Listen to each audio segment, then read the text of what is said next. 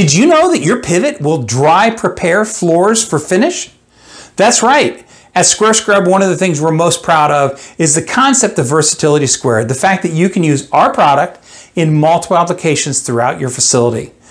Dry floor preparation is essentially when we remove the dirty and damaged layers of finish, leaving the good layers of finish intact on the floor. Once we scrub these damaged layers off, we vacuum up the pulverized finish that's left, give it one final mop, and we're on to laying finish. This simple process will save you time and money.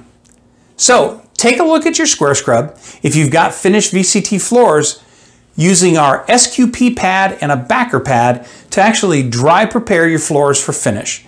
It'll save you time and save you labor.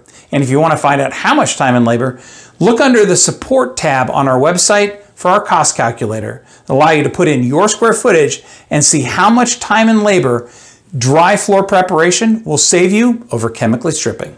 Until next time, remember, all it takes is a little elbow grease.